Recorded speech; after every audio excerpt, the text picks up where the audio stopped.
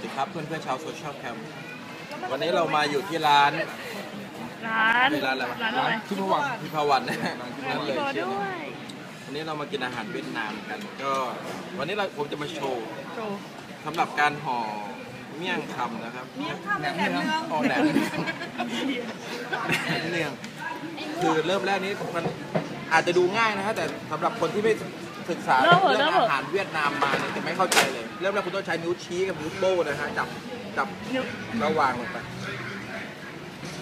เราจะเริ่มจากที่ขนมจีนขนมจีนนี้เราคัดมาจากแป้งที่ทำกันในเดือน3เดือนถึงเดือน 4 ของต้นปีนะครับเดือนอื่นไม่ได้เท่านั้นเท่านั้นเดือนอื่นไม่ได้ไม่ได้ไม่ได้ แตงกวาต้องต้องแตงกวาสุพรรณนะร้านนี้เขา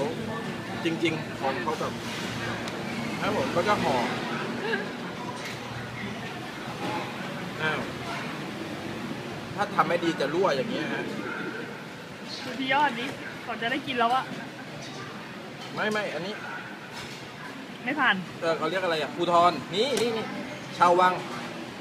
หมดคุณชายแล้วนะหมอมพี่นั่นหม่อมญาติจากวังจุฬาเทพสอนมาเลย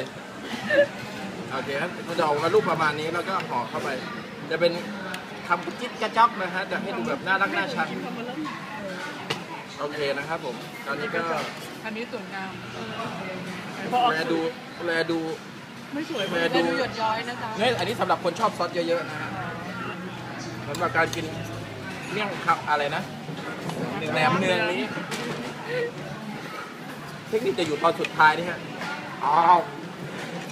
จบ จบเลย บ๊ายบายอืมอืมอืมอืมแม่แม่ไหนพี่โบอืม